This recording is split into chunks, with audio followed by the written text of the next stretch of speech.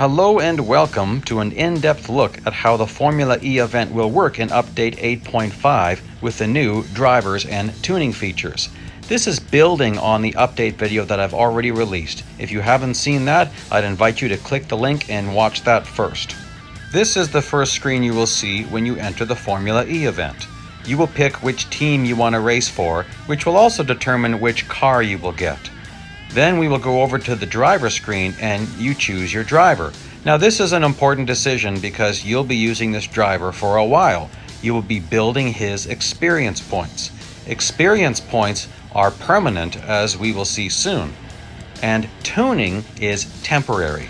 Now, the advantage of temporary tuning is that you could do something like really boost your car's grip for this particular event and then for the motorsports series, you could go with a more balanced approach. So we're not going to go through this whole race. We're going to fly through this really quickly and you will get to see what happens when the race ends and we apply those driver experience points. Now, if you saw my GTE video about this, you saw that there were more points being earned for some of the races. So that was a short race with a finish that was deeper in the field. Here we're looking at the tuning screen and you can see there's four categories that you can tune your car. All tuning will be bought with M dollars. Even the very final tier of the car, it would all be bought with M dollars. Here we see that this driver is now available to level up. All driver level ups will be bought with gold. And the advantage of this is it's permanent.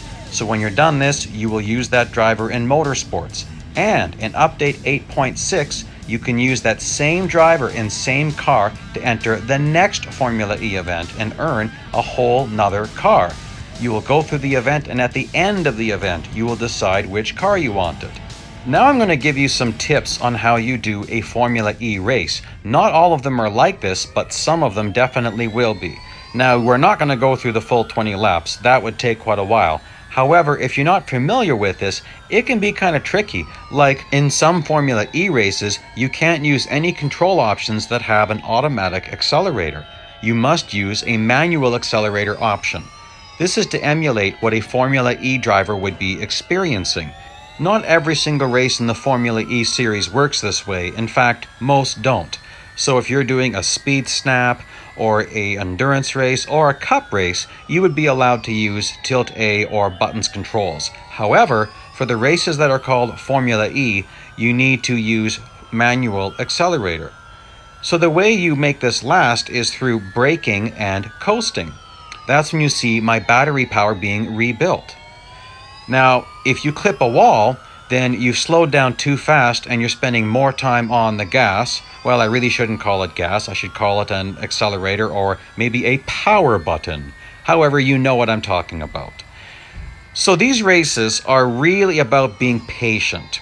And you need to race fast. Don't hit the walls a lot. So here I am, and I got to be careful, and you don't want to get really damaged because that'll slow you down. So you saw how that little tap in the wall just ate up my speed. You got to be patient.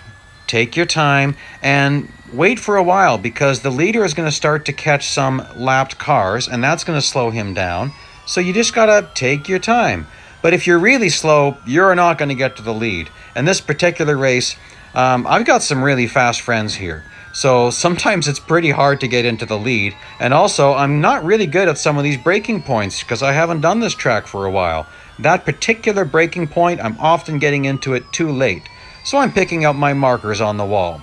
We're going to fast forward a bit here. I was just about to start lap 3, and here I am into lap 10 when I'm finally getting a chance at the lead. And as I said, I'm using that lapped car as a pick, and I'm finally able to get my overtake. Now, does that mean I would have never caught him? No.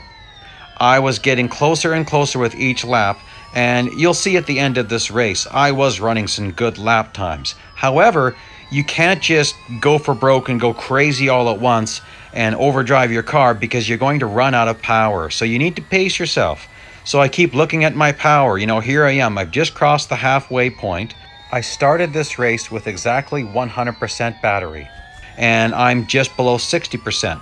If I keep up my pace, I will have no trouble finishing this race. As you may notice, I'm getting very close to the walls in these corners, and I have found more of my optimal place on this track. Even this corner coming up, I'll be getting into the gas right as I'm rounding that wall. I've warped ahead some more, and here we are at lap 20, and you can see how much of a gargantuan lead I gained. Over one and a half kilometers, so I was definitely running some pretty fast laps. There were some changes for second place, and we'll see that at the end here, but you can see I was driving fast. I undercut that guy a little bit, and there we go. Another thing about these races is there's some pretty decent pay. Long race, almost 18 minutes long, but look at that, 93,000 M dollars for that race. That's a nice M pay. And now I can show you the lap times that I was churning out, which as you can see were some pretty decent times. All the new update footage was provided for me by Real Racing 3. I do not get the update early. The 20 lap race was me in a Season 5 car. Thank you for watching, see you on the track.